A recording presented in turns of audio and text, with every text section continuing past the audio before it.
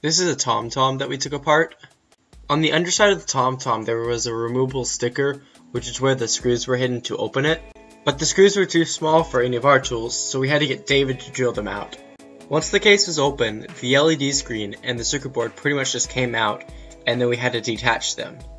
It was really cool that there was a flexible circuit which actually had components on it. Once the actual PCB was removed, we had to get the speakers out.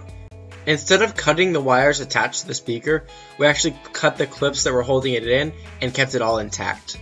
In conclusion, there were about 11 parts including the TomTom's cord to charge.